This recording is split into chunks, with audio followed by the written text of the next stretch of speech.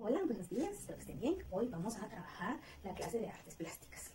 El tema de la clase de hoy es claroscuro. Claroscuro. El apodo es claroscuro. Para la clase del día de hoy vamos a utilizar una hoja de 120 gramos en blanco, tamaño oficio.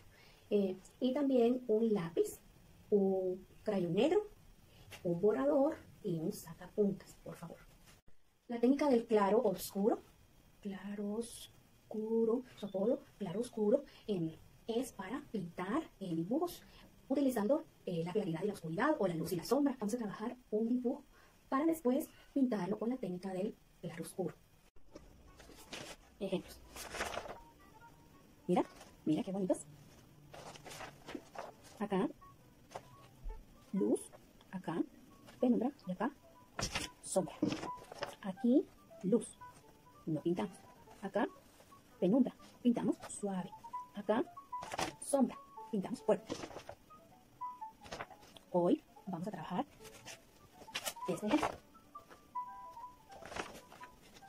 Primero hacemos un dibujo. Mira.